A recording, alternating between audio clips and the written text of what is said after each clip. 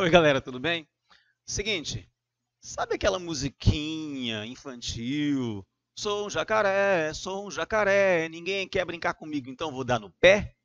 Pois é, se você se lembrar dessa música aí no dia da redação do Enem, basta você saber que ela é uma estrutura básica de redação. Eu explico, presta atenção numa coisa. Vamos por versos. O primeiro, sou um jacaré. Escreve aí. O segundo, sou um jacaré.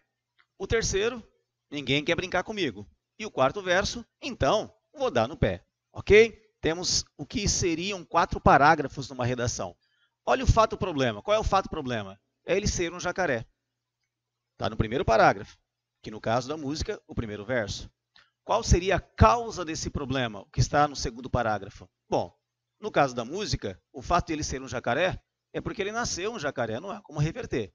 Então, o fato problema é também a causa desse fato-problema e vice-versa, ok? Já temos então os dois primeiros parágrafos, fato-problema mais causa desse fato-problema. Terceiro parágrafo, no caso da música, é o terceiro verso. Ninguém quer brincar comigo. Qual é então a consequência? É que ninguém quer brincar com o jacaré. Por quê? Ah, porque de repente ele causa medo, ele é um bicho pré-histórico, alguma coisa assim. Não sabemos. Só sabemos que ninguém quer brincar com ele. Qual é a intervenção que o jacaré dá a ele mesmo? Incluindo no quarto verso, ele coloca até uma conjunção conclusiva. Então, o que, que ele faz? Vai dar no pé. Então, vou dar no pé. Ou seja, ele vai brincar sozinho. E prefere, então, brincar sozinho do que ser excluído socialmente. Correto? É uma intervenção. Beleza?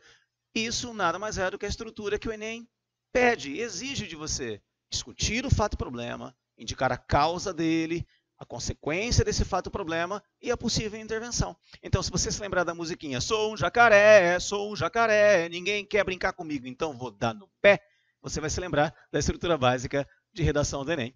E se você gostou do nosso vídeo, clica aí, curte nosso vídeo, compartilhe nosso vídeo, faça a inscrição e ative as notificações. Vamos fazer o BioRed crescer, beleza? Um beijo para todos e boa sorte!